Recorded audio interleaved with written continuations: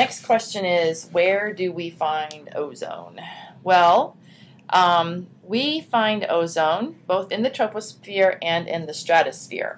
Um, in the um, this is a this uh, in the troposphere the concentrations are lower than in the stratosphere, and this graph is showing us the um, varying concentrations of ozone uh, with altitude. Okay, this side is in miles, and this side is in kilometers. And you see um, that in the troposphere, by and large, um, up to about nine miles, the ozone concentration is pretty low. We have this little uh, red region right down here where it's a little higher. That is closer to ground level. You know, um, less than uh, you know a mile high. That's some of the highest places in the United States that go a mile high, like Denver, Colorado. Um, that's uh, where we we would have um, uh, the concentration, you know, red. That's where it would be done. Uh, excuse me. The result of this higher concentration of the troposphere is down here closer to ground level. See, the concentration gets higher as you are lower, closer to the ground. That's because it's um, from man-made uh, sources, right?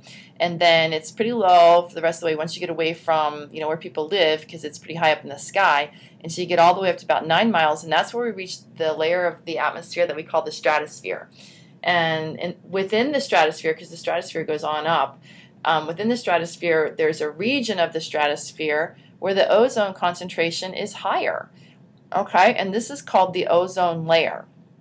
Now, sometimes when people think of layer, they think of, you know, a pretty thin, um, you know, high concentration layer.